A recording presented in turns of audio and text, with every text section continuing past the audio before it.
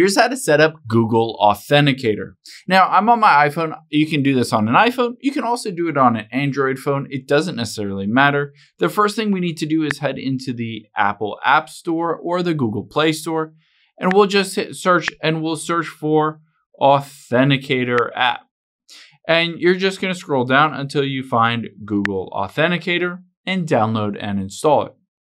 After we've done that, let's just open it up here. You can see I have a couple different codes on here, but if you don't have anything, no worries. You can tap the little plus at the very bottom right and then hit enter a setup key. Now on here, we're gonna hit the account name. In this case, let's use the Facebook app as an option. So I'm gonna put Facebook for account name.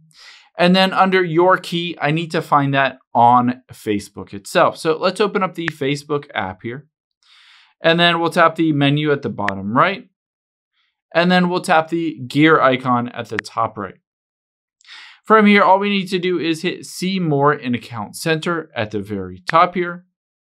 And then we'll tap on password and security midway down you'll be able to see the option for two-factor authentication. We need to set that up. You might already have an SMS text message using this, but we can tap on two-factor authentication for Facebook and switch this over to an authenticator app.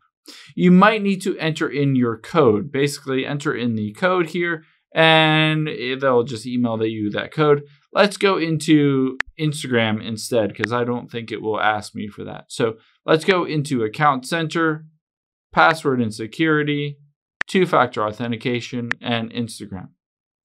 Now, after we've done that, you can see Authenticator app midway down. Just tap on that and it will give you a code.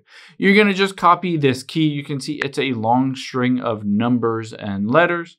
And you're going to go back over to the Authenticator app, the Google Authenticator. In this case, we switched it over to Instagram because it wasn't asking me for that code or the code that was emailed to me and I can hit paste. And now I will hit add. And just like that, I have this Google Authenticator code. You can see the little blue kind of circle ticks down and then it will refresh automatically after a little bit.